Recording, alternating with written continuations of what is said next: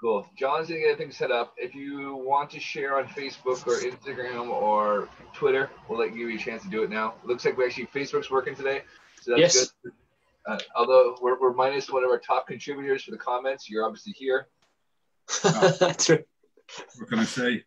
I, I keep commenting while I'm here. This guy's You'll really, ha- yeah, you'll have to you'll have to log into your burner account and uh, yeah. help us out that way. Yeah. All right.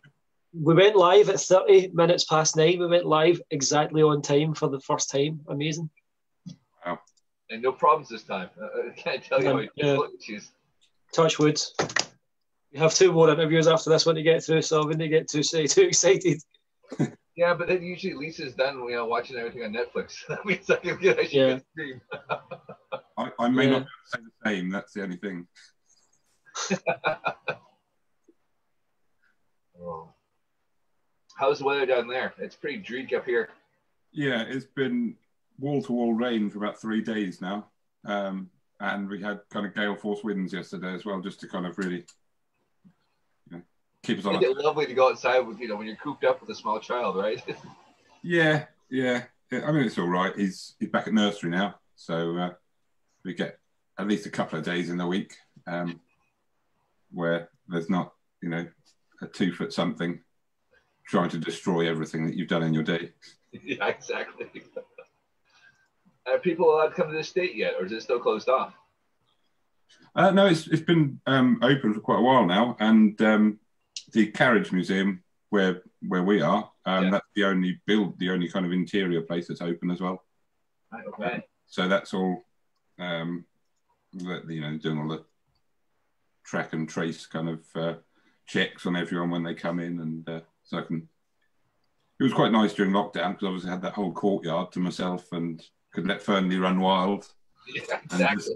sit, sit there, drink a coffee, and read uh, read a book, and he was, you know, penned in. Whereas now, not so much. well, I was talking to Peter Chen earlier, and uh, he said he was quite jealous that I got to go and hang out with you. And uh, he said the estate looks amazing. So maybe one of these days we can all get together and go hang out for a for a beer. So we haven't really Yeah. Yeah, How's the fishing been? I keep seeing in the pictures. yeah. Well, I, I kind of obviously the season ended on Wednesday. Wednesday just gone. Um, Right. So yeah, had a had an all right last week. My brother came came over from Norfolk, and we got uh, four days in, uh, three different three different two rivers and a reservoir, um, and we caught at every location. Um, so That's not bad at all. it's not bad for, for the end of September. Um, So how long have you been fly fishing then? Uh, well, I've only recently got back into it um, this year, um, but I was. Uh, I used to go up to um, Scotland with my to see my uncle.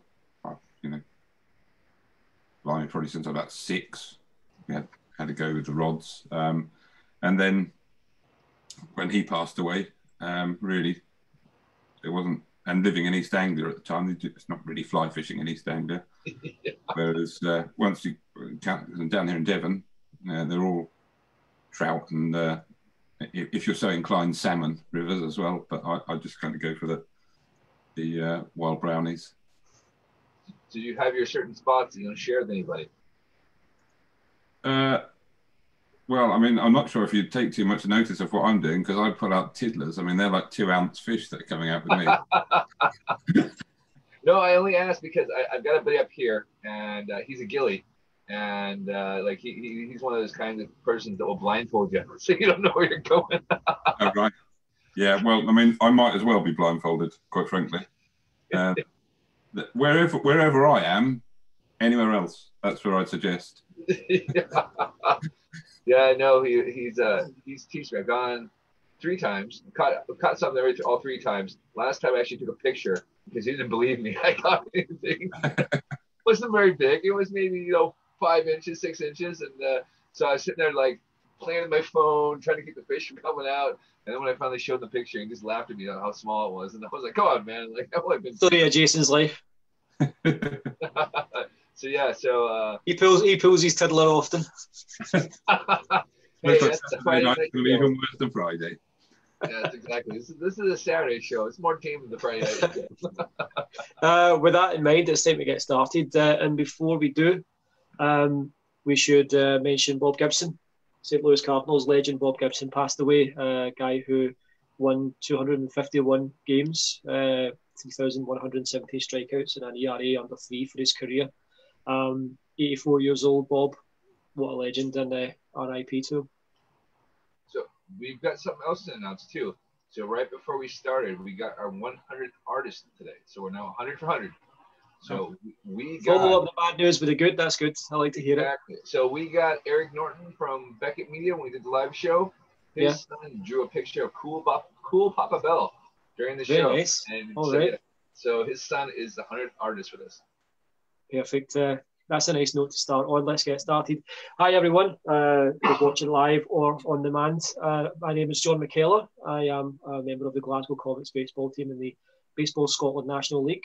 And I'm one half of the Ball Caps and Bagpipes podcast. Uh, normally, we podcast about Scottish baseball week to week. That hasn't been the case this year uh, due to COVID 19 suspending our season. But obviously, we, as uh, anyone who's been watching along will know, we've kind of looked into this fundraiser, the Negro League Baseball Museum Art fundraiser, and we're interviewing all the artists. We have a very talented guy, and he's an Englishman on the show this evening uh, to start. We've got three coming up again tonight. Uh, Jason, would you like to introduce yourself first off?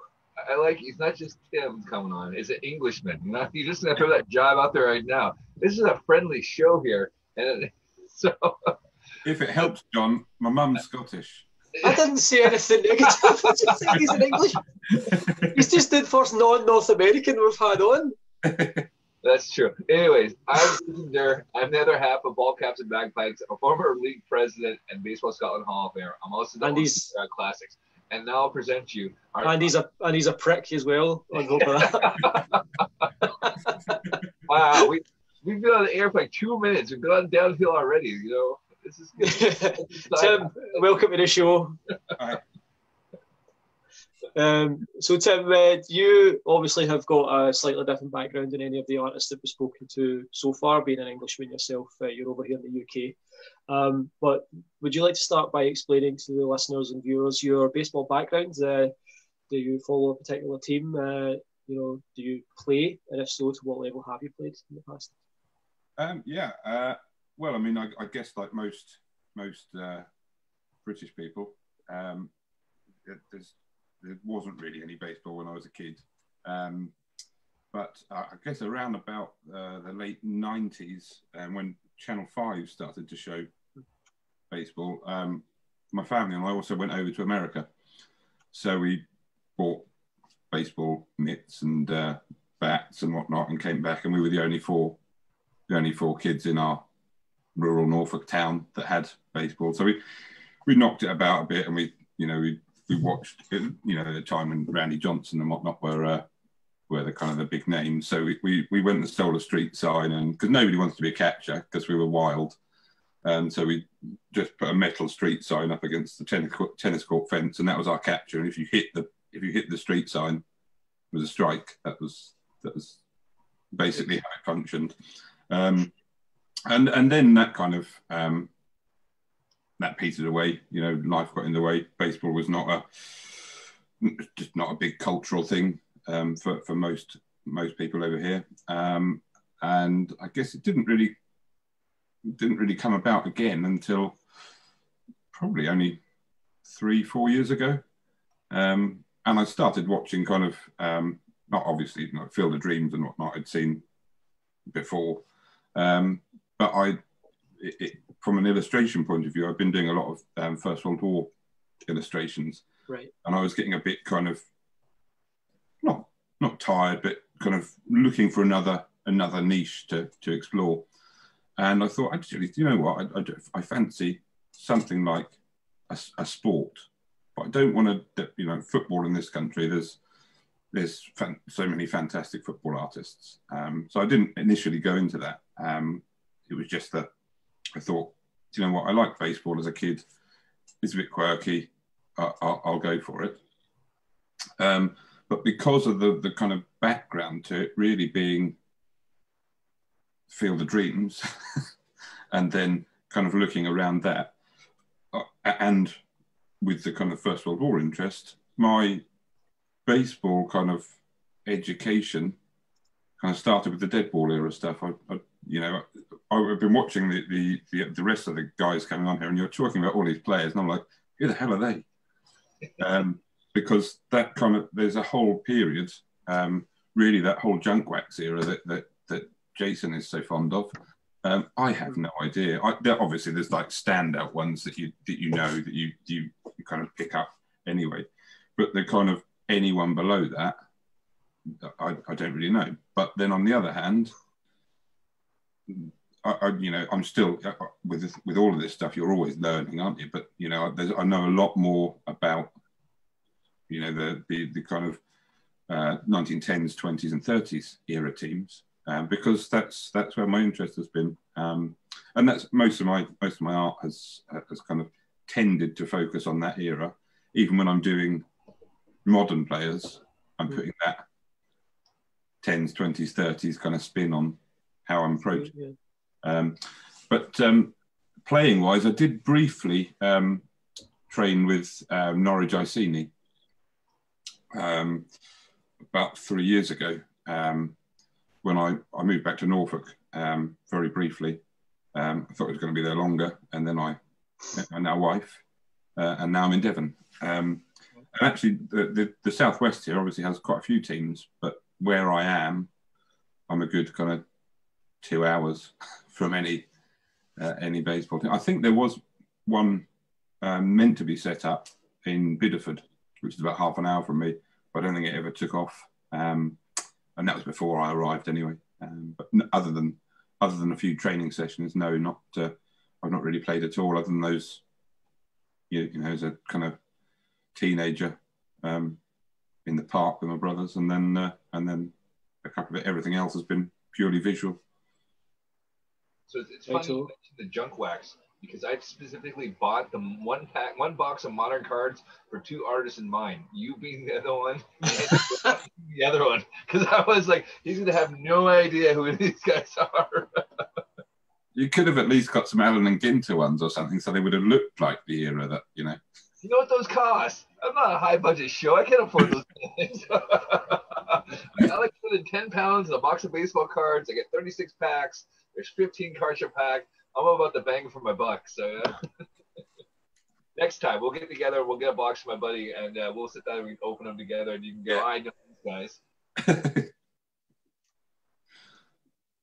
so um, you are wearing a Giants jersey. Would you say that that's your team that you follow?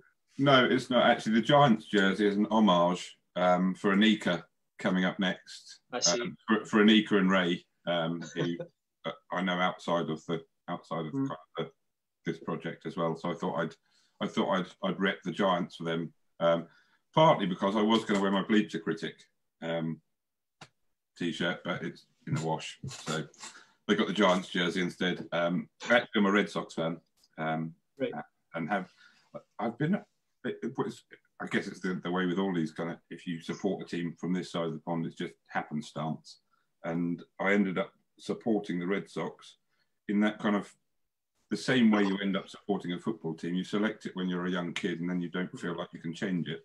Yeah. And I happened to, um, uh, I must have been about 10 or 11, and I collected tokens off the back of Golden Grahams and then you could send it in, and you could you just chose the baseball cap you wanted. And for some inexplicable reason, I chose Boston Red Sox over the other three or four options that were on there, mm-hmm. and then I kind of felt committed. No worries. Um, uh, uh, do you have any particularly strong or favourite Boston Red Sox memories from watching uh, over the years? Um, well, I mean, it's been since I got back into the baseball. It's been uh, up and down with the Red Sox. Obviously, there's been a World Series within it, but really either side of that, they've not really been competitive at all.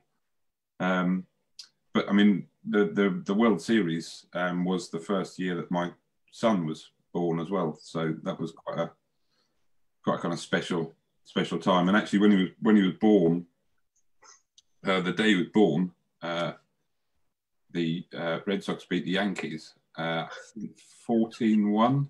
That's always a good day. Oh yeah. And, and Oh. the Red Sox actually sent me the tickets from the day from from Fenway. Oh, so nice. I've got them framed, um, with, you know, with Dustin Pedroia on there, kind of, Yeah.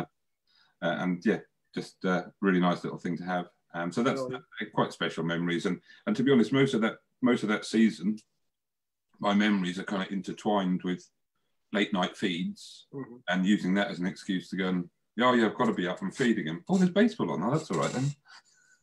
Yeah.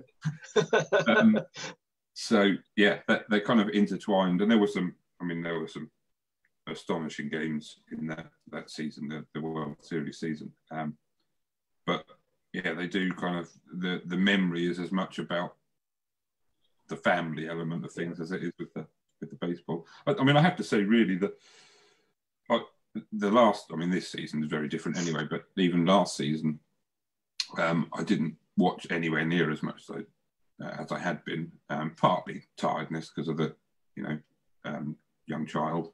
Yeah. Um, but actually, my my interest in the subject is is predominantly historical, and Mhm. it is um, all that kind of broader cultural element of baseball within American society, not not purely the sporting thing. Don't get me wrong; I like to sit down and uh, and watch a game as well, but I'm, I'm not kind of a die-hard fan with it. Um, it it's more of an enjoyment. I, I will if I think the Red Sox matchup isn't really a traditional matchup that's on that night, I'll go and see what game is on where you know there's a couple of old franchises playing each other, just just so I can feel a bit more transported into another world. You know that kind of cultural connection rather than sporting connection. Sort of Cubs and cards sort of thing instead. Exactly. Yeah. Exactly. Yeah. Right, brilliant, man. Well, I don't know how much you listen to Ball Caps and Bagpipes, Tim, but uh, my son was actually born earlier this year. So Right. I'm hoping that uh, lightning's going to strike twice and uh, I'll be celebrating number 28. Uh, and, I, and I hope not, unfortunately. That's fair. That's fair. um, Jason, do you want to touch on the art side of things then? Yeah, we'll go into that at some point. So actually, I was going to ask if you wanted to come on Anika's interview and come jump in for a bit. Yeah, can do. Yeah. Yeah. I, I know you guys know each other, so I thought it'd be kind of a fun thing to get us all on and uh, let you guys chat and we can do something different where uh, you get you can ask some questions of Anika. I've got some fun ones all lined up in there, but Yeah. you, you, you Uh, can. well, uh, the, the main question I'd ask is how is she so good? Well, you, so that's funny you say that. One of my questions was going to be, well, let's see, let's see. You're uh, an illustrator, a writer, a designer, a cartoonist, humorist, author. What's your kryptonite? Because what what can she do? I mean, I was obviously amazed when I was looking at her bio. So yeah, that that's funny you mentioned that. So uh, that was definitely one of the things. Uh, she's so talented, and, and um, I was just looking at her, her work, and I'm sure it's only a fraction of what we see on there, and uh, I'm just absolutely blown away. Yeah, uh, it, it, it is it kind of getting into the baseball art. Um, I just kind of stumbled across Anika one day. Um, I think it was uh, it would have been about the same time that she um, she released her first book. Um, was it Principle of the Curve? Yeah. The, the the one of all her illustrations, and it just, it just kind of happened to fall in, and then you know we we kind of buddied up. Um, and then, as it turned out, you know, her her partner is over here a fair bit. Um, so I've met up with him, and and it's been yeah, it's been really really nice kind of that, that community spirit that a, a few of the other artists have spoken about. It's just really really lovely that you you know whenever I've got in touch with any any um, baseball artist, uh, you know, and, and said you know oh really love your stuff then the conversation begins. There's no kind of prima donnas. There's no kind of what, not that I've come across yet anyway. They may well be out there, but uh, I've not come across any. It's always been really kind of friendly and supportive and encouraging as well. Um, So, uh, coming from the UK, you're reaching out to the other artists. How are you generally received? Do they kind of see you as an oddity, and like, hey, there's some British dude out here that likes my work, or are they more kind of curious about again, like us, going, how'd you get into baseball and stuff like that? Because again, like it's one of the first questions most people ask me and go, you play baseball in Scotland? There- There is baseball in Scotland. So, from an artist perspective, I'm curious how it works for you. well, I mean, if I'm honest, most um, most people that get in touch with me, or if I get in touch with them first, um, don't realise I am British. That they they assume I'm American, and probably you know you can understand why. Um, and it's only kind of when when you get into it, they're like, "What you? But you're American who lives over there now, are you?" No, no, I'm I'm from here, born here. You know, just kind of got into it. Um, but I, have I've had it with um, you know exhibitions over in America as well, where they kind of get in touch and say, "We'd really like to have your work." Oh, yeah, great, no problem. Um, let me know when you need it by, because I need to send it from Britain. Oh, I didn't realise that. so, yeah. So yes, I didn't. I was starting to look into the baseball's art exhibition that held, that happens in Shelby, North Carolina, which obviously you set your work there. I didn't realize it's been going since 2010. Yeah, I, have only done it the once uh, uh, last year, but yeah, I mean that that um, that really is. There's some just incredible artists there. You you kind of see your work there, and you think, oh. And to be honest, throughout this um, throughout these interviews as well, you can't help but there's a bit of imposter syndrome comes in. You're like, I, I feel like I just kind of fell into baseball and, and and started, you know, drawing it and illustrating it, and and then these guys, it's like the worlds. You know, they know they know things inside out, and I'm like, well, I just kind of go and look things up, and then I draw it. It's not like off the back of my head. I go, oh well, I'll draw this obscure, or someone that I feel is obscure. I mean, I've had it where I, have drawn someone who I think is obscure, and I think, oh, nobody will have heard of that, and I go, here's this illustration of Rogers Hornsby, and everyone's like, yeah, yeah, I know him. Yeah. have, have you ever thought maybe? Well, obviously, uh, uh look at their stats first. hey, okay, this guy's a Hall of Famer. yeah. Well, maybe I should. I I tend to, if I'm honest, I tend to get kind of a an image, or not so much now. Now that I'm a bit more versed in it, but at the kind of in the earlier days, I'd get an image of right, what kind of action do I want to be portraying? and then I'd go and track down a uniform that I liked, and then I'd find a play within that uniform that would potentially be doing the action that I wanted to illustrate. Um, and so it was a kind of who I drew was pure kind of chance in that respect, um, and and not having that kind of um, cultural education in it. You know, not growing up with a grandfather or a father who's show me old baseball cards or anything like that, um, because you know not many people do in this country. To be fair, um, there's gonna be more pictures of Ted Williams than, than whoever was the, the fifth man, the 25th man on the bench for the Red Sox. You know, there's only so many times you you know have a guy like uh, carrying the, the bats back to the dugout. You know, because obviously the stars and have more pictures. So I imagine it's more reference material for you. Yeah, well, I mean, to be honest, you know, when when I started out, I kind of I really got I was really interested in the in the the, um, the, the drawing the bigger names just to try and kind of make a name for myself as much as anything else. You know, kind of get it out there. Um, but as as I've kind of got more versed in in the game and in the history of the game, um, you know, the interest kind of goes off in different directions, doesn't it? So you, you know, things like the Pacific Coast leagues and stuff like that. I, you know, they're they're fascinating that these things kind of existed and then they just kind of absorb or dissipate or whatever these other leagues do. Uh, and and they're the kind of areas that if if I'm pursue if I'm doing the bit of art that I want to do, I tend to pursue something that I still perceive as a slightly kind of niche version of niche. Because yes, baseball is niche for an English artist, but my audience is predominantly on across the Atlantic uh, and baseball is not niche. Then it's a, you know, it's a, it's kind of central to the the, the kind of American spirit in some respects, uh, and so you, you kind of trying to dial in on even niche versions of that thing, which then when I have to talk to someone over in this country, normally, um, they're like, isn't that rounders?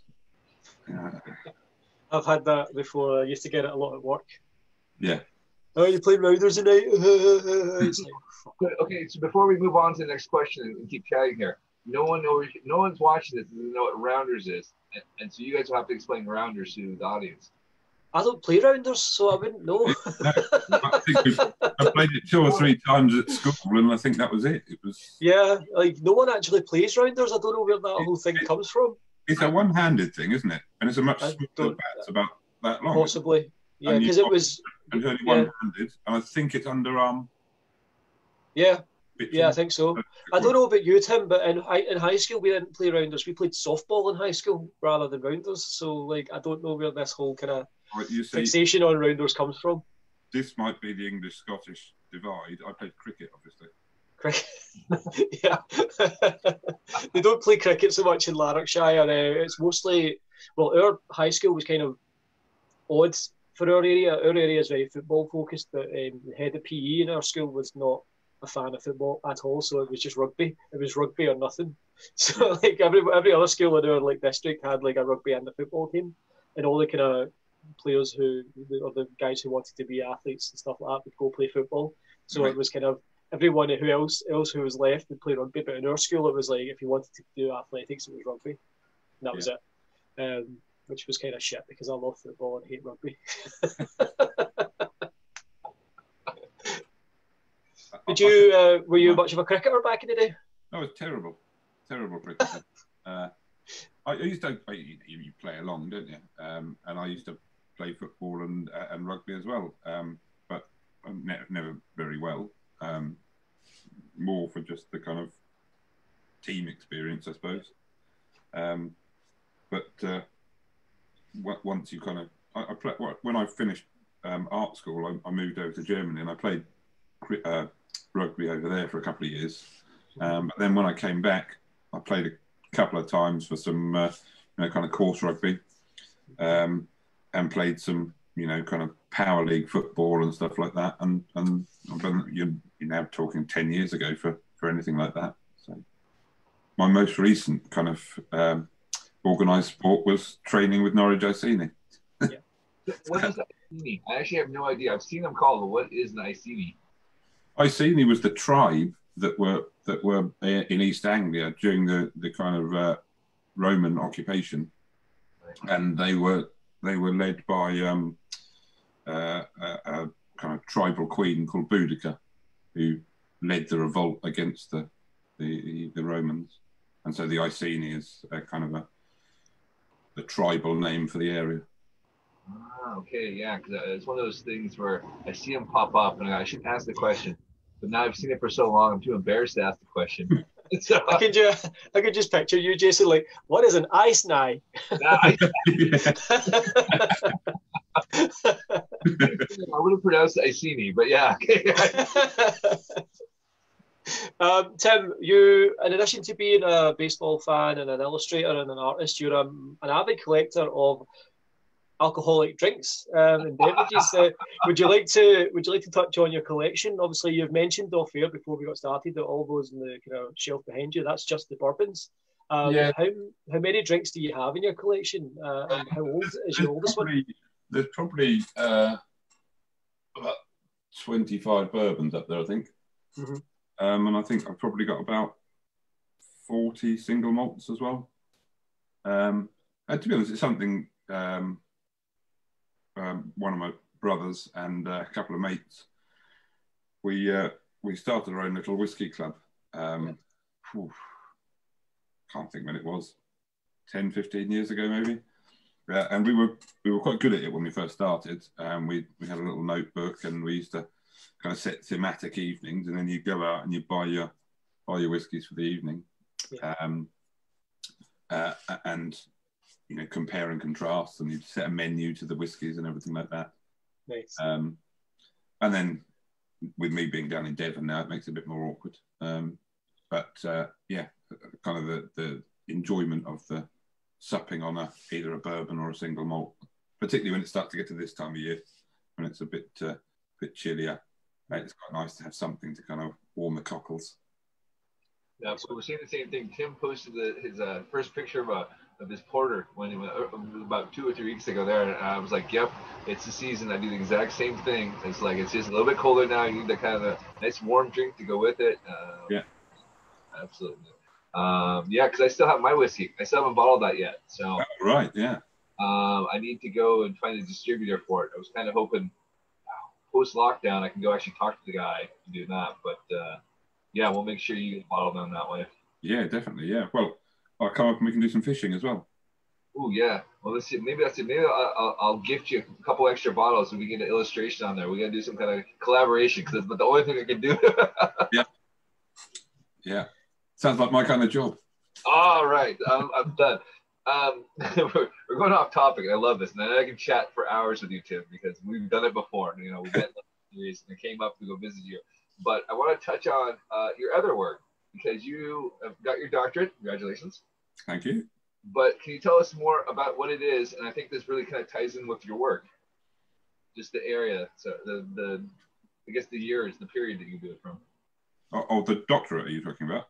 Yeah, I was talking about how you do the Great War and everything like that there. So yeah, so the the kind of the way I got into the uh, into the illustration uh, in, in general um, actually is directly connected to the the PhD um, because I was when I did my postgrad, um, I was doing it um, part time, so I was um, working during the day um, at the local council, uh, and then travelling into London of an evening and doing and doing the, the course. And then once I'd done that, um, it was kind of suggested that I go and do a PhD, uh, and I was very fortunate that I got funded to do my PhD, which meant that I could quit my day job. Um, so when I got uh, the funding to do that, I thought, well, actually, here's an opportunity. I'm being paid to do the thing that I was doing in my spare time.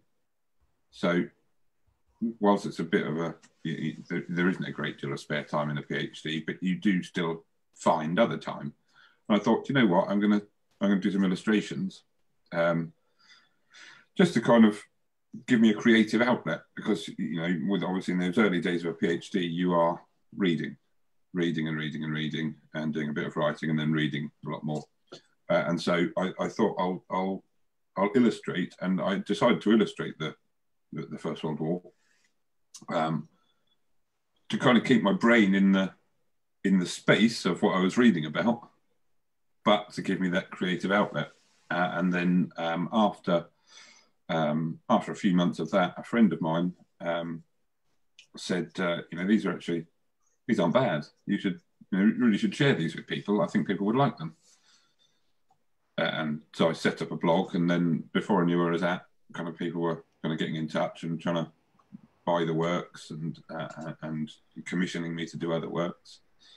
Uh, and by the time I eventually ended my PhD, obviously the bulk of my I'm a full time. I, I, call myself an illustrator, but if I'm honest, probably in the purest terms, I'm, I'm an artist and because most of the most of the work that I do ends up being one-offs that people buy to go on their wall. They don't.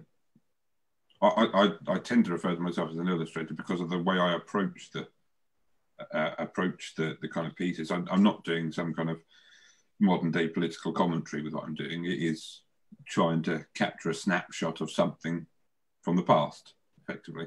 Um, be that the First World War, be it baseball, be it football, whatever, whatever the subject is. Um, so uh, yeah, that's that's kind of how I, I, ended up getting into the, the illustration and the First World War side of things was was a kind of counterpoint to the the, the intensity of reading all day and doing the PhD.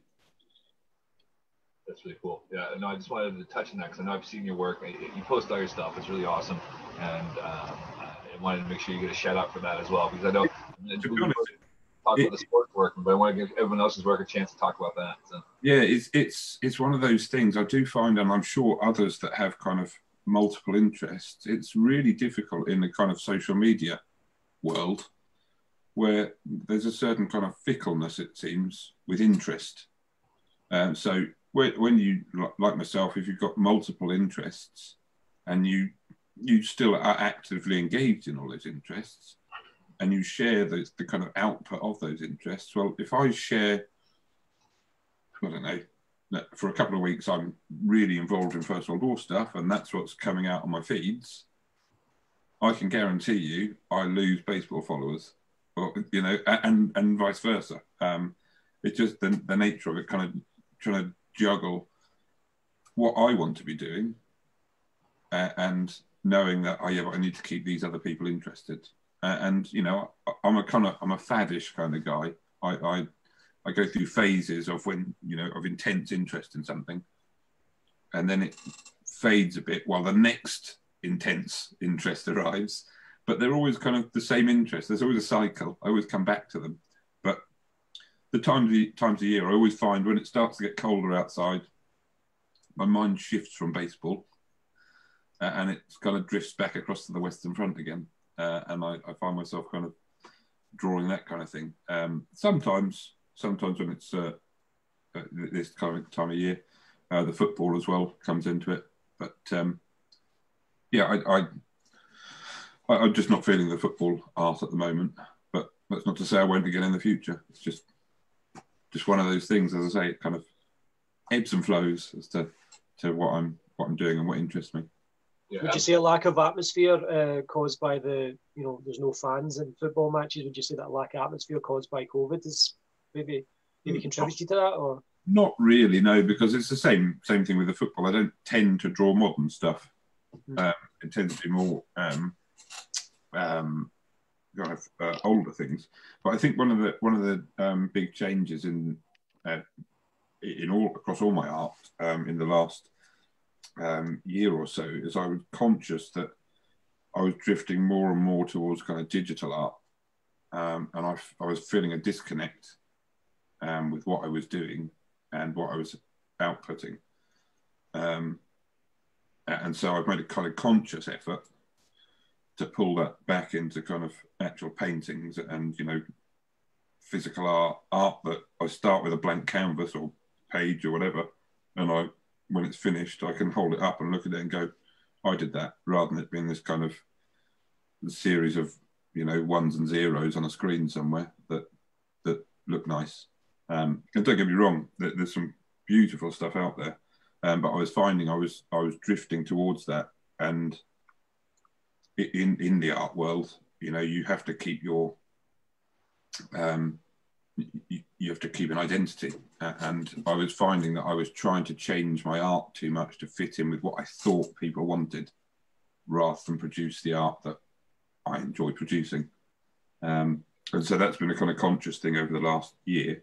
And because most of my football work was digital, um, it's meant I've not really, not really done much football work. Um, but the baseball stuff, I've really kind of got back into it again with um, with with the painting because I just again one of the things I love about the the the, um, the, the kind of era of baseball that I, I enjoy are, are the advert, uh, advertisements uh, and the stadiums and, and going off and doing all the, the research uh, into right, well, if I'm going to paint it from this angle, what billboard can you see, and what part of the stadium can you see, and what angle is that going to do, and what position is that? So where would the sunlight be at this particular time of day, and you know all these kind of things. Um, that that's part of the part of the fun of it, and then being able to articulate that with a paintbrush is far more enjoyable to me than selecting green and going, yeah, and now I'll just stick a texture on that.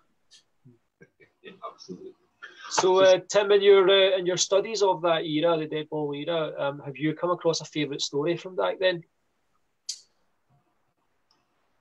Um, I don't think I really. I, the trouble is for me, I don't really look at the stories. I don't. I don't really. It probably it's, uh, it's not particularly good uh, advert for me, uh, but I, I tend to kind of. I tend to look around the baseball. The baseball is I'm painting baseball, but actually the thing that kind of interests me is the bit going on around the baseball. Um, uh, and so I'm finding that uh, you know not many of my um, works in progress are are out there at the moment, but there there's a lot more focus on the stadium and the, the, the context of the baseball rather than it being a another player.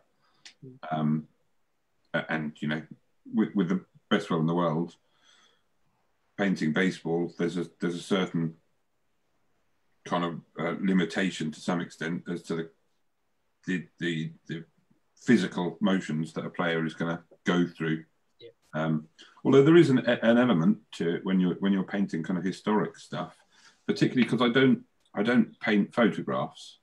Um, I I obviously use the photographs as reference, but I try to kind of reimagine um, a, a certain game as, uh, uh, and a kind of scene that must have happened, but that there isn't a visual record of it, um, or certainly one that I've been able to find. Um, so you kind of using the reference points and then recreating something, uh, and I, I, enjoy that as well. And I do that with the First World War stuff. Um, um, but yeah, the, the, kind of contextual thing is a is a really a really strong driver. So there's a, the stories. Uh, it's not really. It, it, doesn't really. I'm sure that if I really thought about it, I'd, there are some in there, but I couldn't say I have a favourite one. Right. Well, we were running out of time. but uh, what I want to know is, I said, what are you doing for the Negro League fundraiser? I know I've seen everything, but let's tell everyone else uh, what you've done. So I've um, I've done a new um, painting of Leon Day, um, who uh, actually, because it's Negro Leagues, I put him in a Negro Leagues uniform. But actually, my interest is in his uh, role in the uh, 1945 um, GI World Series. Um, and, and, that was kind of how I um, found out about him. Uh, in fact, there another um, another um, chap who lives in Glasgow um, who writes the Baseball in Wartime magazine. Um, and he had written about him, uh, and I kind of got interested in that. And then I thought, ah, but it is a Negro Leagues thing. I can't very well put him in his service uniform. So I had a look into it, and of course, the Newark Eagles in 1946 uh, win the World Series on the Negro League World Series. Um, although Leon Day doesn't have a particularly um, great showing, um, but I wanted to paint Leon Day, so uh, um, I, I, actually decided to um, put him in in Game Seven when he he pitches so badly in the first innings, really gets knocked about. Um, he might even ship five runs, I can't remember, but he does get knocked about in that first inning, so he gets moved to centre field for the rest of the game. Um, and so I painted him in centre field at, um, at uh, oh, I think Ruppert Ruppert Park, Ruppert Ruppert Stadium, Ruppert Stadium, um, uh, and so it was that kind of tracking tracking that down. So I've done the painting, uh, and the the the painting's already sold, so that's that was a good start. um, um, uh, and then there are prints um, available of that as well. Um, but I've also taken some of the other um, Negro League um, players that I've I've painted. So I've done um, a Josh Gibson, the Homestead Grays, uh, and I've done a an Ernie Banks when he uh, turned out for the uh, the Monarchs, um, and I've converted those into a kind of um, art cards. so, like, here's a yeah, here's one of the. I don't know if you can see that one particularly well. There's the Josh Gibson one. Um, just kind of yeah, with a little like a limited edition numbering on the back. Um, awesome, um, so yeah, they're they're going out the three of those, uh, and I've also then put um, the Negro League badge and all the other anything else on my site. So any, effectively anything which is I, have created a kind of little um, subsection on the website um, that if it sells in, in that period, then the 20% goes off to the off to the museum. So yeah, that's that's what I'm kind of that's that's what I'm offering for this. Uh, and uh, obviously, a set of the cards are on their way to you as well, Jason, for the for the raffle. Absolutely, thank you so much for the donation. I can't wait. So um, I'm looking forward to seeing them. There might be one less. yes. God, there were three in this. No.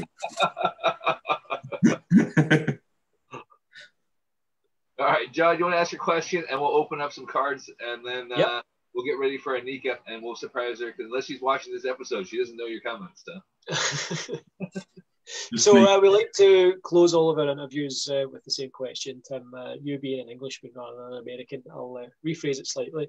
Um, as an artist and as a baseball historian, what do the Negro Leagues mean to you?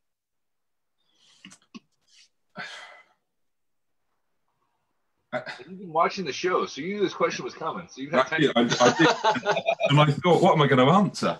Um, because I, having come to baseball history and, and baseball in general quite late, one of the earliest Twitter feeds I found was the Negro Leagues Museum.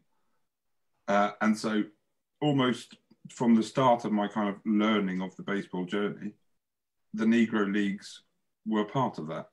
Um, and so, it's quite odd, kind of coming from that position, to think they were never like that. I mean, it's, it's bizarre to think of them in the first place existing.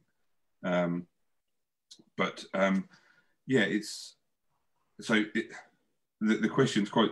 I can't really answer the question in the same way that all the other kind of viewers have. I mean, it like there've been a number of uh, a uh, number of other other kind of um, uh, artists that you know weren't necessarily even aware of the museum, etc. Um, before the project started. Whereas, as I say, for me, it was one of the various, very earliest kind of um, Twitter feeds that I that I I, I followed, uh, and um, yeah, so it's it's kind of it's always been part of baseball history for me.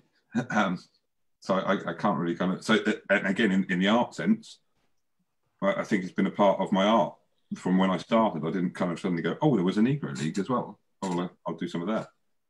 Um, I, you know, I think it, there's been a few times when but one of the things I've done is um, um, take modern day players and put them on crackerjack cards. Um, and of course, the Negro Leagues didn't have or weren't represented on the crackerjack cards. Um, so there are people on those crackerjack cards that I made that wouldn't have made it onto the original ones, and that has that's driven quite a lot of comment from the other side of the, the Atlantic. Um, and in some respects, I think because we have a very different, not a very different, but a, you know, a substantially different um, uh, understanding of uh, race uh, and the makeup of it in this country uh, as opposed to in America. I, I, still kind of get taken aback at some of the things that I read and, and learn about the Negro Leagues and, and the kind of the approach to it. Uh, yeah. Uh, so, uh, and it baffles me that the history has been kind of segregated as well for, for so long. And, and it's really the work of the, the museum uh, uh and uh, Bob Kendrick and, uh, and others to, to kind of really kind of raise it within America that there was this thing going on. Um, you know, it didn't just start with Jackie Robinson. There was, you know, there was other stuff going on as well. So, um, didn't really answer it, but yeah, get really tough one. Uh, you know, you, you, we're over here. You know, like I said, it's, it's, not the same kind of historical background you would have growing up yeah. there. A, a, lot of people go, well, I knew of it, and then um, uh, the, the, Ken Burns documentary came out, and it you know, shed more light onto it. And that's kind of, I mean, for me, it's the same way. Like I, I knew of it, and then I watched, you know, the documentary, and went, oh my gosh, there's more in, information about it, and that was a lot of people's first chance to see something like that. Yeah, yeah, well, yeah. I, I, I guess if, if, there was suddenly a kind of a television program telling me that there was a Negro football league in Britain in the early 20s and 30s, I'd be shocked. Mm-hmm. you know, um, but yeah, it is. It kind of. I wouldn't say it's anathema, but it does feel very.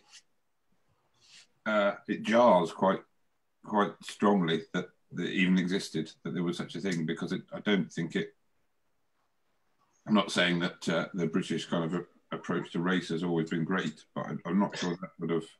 And there are examples, you know, the the, the Portsmouth footballer, his name flips, uh, Plymouth footballer, Jack. They're, they're, they're doing the, uh, I can't remember what his name is, Jack, someone.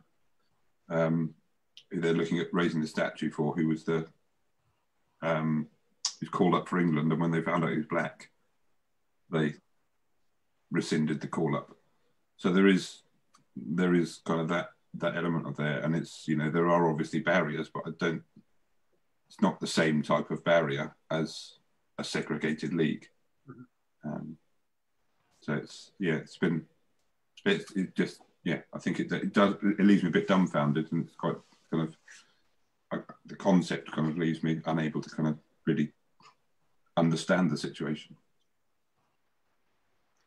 Right, so, so guys, uh, we're running out of time here. I just want to quickly point out Tad is watching, Tad Richardson, and he wants to uh, make sure he's in the right place. He's looking for the beards and baseball webcast. You're in the right place, Tad. Yeah, yeah. Uh, Tad follows up by saying, "Cheers, Tim," and uh, he loves your work. Um, Thanks, so uh, we're going to crack a pack and open some cards here quickly. Uh, before we do, do you want to quickly plug your uh, social media and website? Yeah, so you can uh, find my work and other nonsense on uh, Instagram and Twitter, and they're both the same, which is TJ Godden, which is G O D D E N. And then you can find my shop and uh, either from the links in uh, uh, Instagram or Twitter, or you can go to timgoddenillustrations.bigcartel.com. Perfect. Uh, thanks so much for joining us, Tim. Uh, Jason, let's crack a pack and open some cards. All right. Sh- should we just go to the modern one so you, you don't have to go through the whole thing? I mean, just just go for it, yeah. Although I wouldn't have minded seeing you eat some more of that gum again. I, I'm all out. There's no tops. It's all. It was What are the chances? What are the chances? yesterday. It's all gone today. Uh, I think I've eaten pretty much all of the gum in every pack. I think I've only skipped like one pack so far. So, um, and, and funny enough, I still have it. I haven't touched it yet. it's still there. so I'm not going to eat that card, and uh, we'll be okay. All right, so we'll go with modern because of that. So we started off with Hunter Dozier of the Royals. Yeah, He's formerly of the Twins, right? Uh, no, he's a Royal. I think you're thinking of Brian Dozier. Brian Dozier. There you go. So we I'm a Yankees fan. We don't care about other clubs. we have the big league best, American League innings pitched best. So apparently that's something you celebrated that you threw the most innings. Uh, Is that Kim? These days- I mean, these days, pitching a lot of innings without Tommy John uh, is, a, is a bit of an achievement. So, yeah. we got a Kris Bryant card, so that's pretty cool. nice. All right, yeah, so at least we like that. know a few of the guys here. Let's see what else we got. Oh, the 2019 home run leader, leaders. Who do you know? Who was the home run leader from last year? Do you know? Mike Trout. No, he's in there. He's the middle guy. He hit 45. Uh, Christian Yelich hit a lot of home runs last year. But I don't know if he was from the top. So it was Jorge Soler. So Okay. I didn't even know that. I can never How many did he hit? Like 49? 48. Yeah, I, I had no idea in that. So okay, uh, here we go. We've got Anthony Rendon for the Okay. Angels. Mhm. So obviously they got him in the Angels uniform, not the Nats uniform. And that obviously was a classic film. Um, Angels in the outfield. That was one. Yeah. Of, that was one of the films that I remember as a kid. It was about baseball. All right, we've got some crazy roll call. Our our, our Artemius Aquino card. There we Okay. So um, That's an ugly card. I'm sorry. I I don't think like he that. hit- I think he hit a lot of home runs last year. Like I said, I, like the modern game, I'm not really following, and I don't really watch. it. But we've got a Lourdes Gurriel Jr. card. This is like one of these uh, uh, parallel cards that come out. They turn in orange for these ones. So we've got Cardinal first baseman Paul Goldschmidt. Right. Yeah. Strong player. Solid, solid guy, man. Yeah. Excellent. So uh, and Texas He's my, he's my Ranger. Diamond Dynasty first baseman, actually, Paul Goldschmidt. The Right. MLB the show. Texas Ranger Joey Gallo. And our final card is an Albert Pujols becomes Mr. 2000 card. Not bad. Right. Not a bad finish. Yeah, I mean, at least we got a couple good cards in there. We got the Pujols and whatnot. All right, well, let's go take a five minute bathroom break and uh, Yeah. we'll come back on. Tim, if you just use that same link before, it'll get you right back in. Same one. Okay, okay. And if not, Thank you for that. So, thank you so much for speaking with us, Tim. It's been a pleasure, and uh, we'll catch you on the flip side. And we need to get you on ball caps and bagpipes again to delve further into your uh, your research and Yeah, I'd love to. uh, after the fact and how well your stuff does in the fundraising. Yeah. all right, Tim, see you in five. See ya. Bye.